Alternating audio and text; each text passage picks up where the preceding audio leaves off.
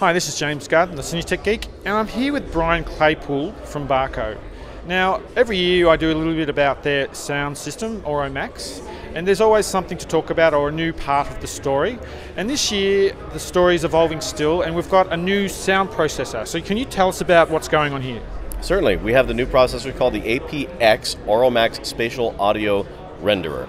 So, it's taking all of the elements that the SMPTE groups have been working on so hard for the past couple years and implemented them in a way so that we can show that there is a workflow and there's the ability for a standards-based bitstream to actually operate in real life.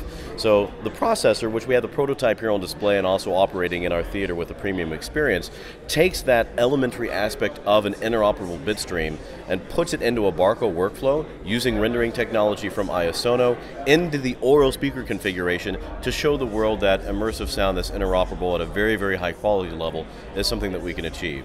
Uh, the processor has the ability to output up to 32 channels. So we've always taken the position that it's not about how many channels that you have in a room, it's about where you put those speakers, how you can configure them, and the quality of the technology behind it. Uh, so right now we have about 350 installations out there with Auro 11.1, and this processor will enable us to go into every single one of those screens, supply an upgrade that allows us to get to that interoperable standard that then allows all titles to be able to play back in immersive sound, but still at a very high quality level. And, and, looking at it, it's a, it looks like a very complete and finished box, so that's all very good to know. And really, the only frustration I have with this is that it's been terribly slow for the market to rally around making these this content for this MDA type standards based deliverable. What's you know, is there any update we can have on that and any roadmap or time frame we can look into that?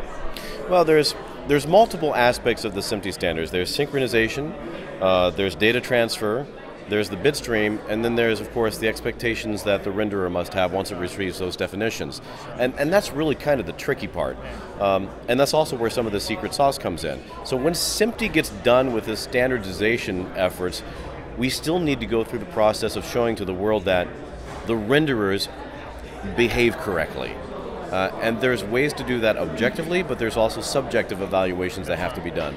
Uh, we made a white paper last year for the fall uh, SMPTE Technical Conference where we kind of outlined different ways where you can show that kind of interoperability. But again, the end result is we need to get a lot more content made.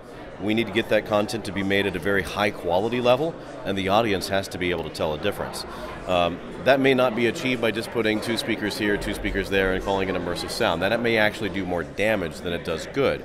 Uh, having said that, we have to be aware of the cost consciousness of the exhibitors and make sure that existing equipment can still be used in their auditoriums. They don't have to replace a whole lot of stuff.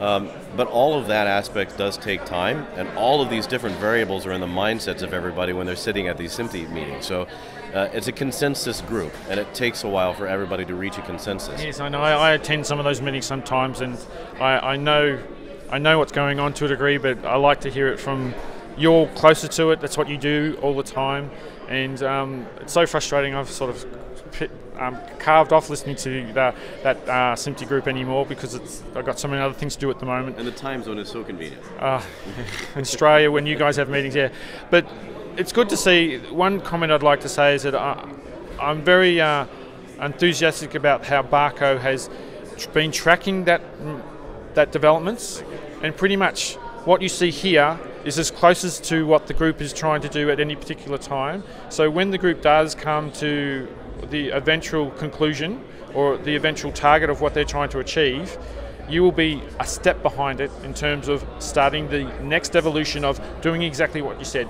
getting the content made, getting the content to the people, and evolving you know this new workflow and the, the capabilities of MDA. So thank you very much, Brian. It's, it's hard work. It's sloggy work. It is. So and it's know, not just necessarily about MDA. It's it's a SMPTE.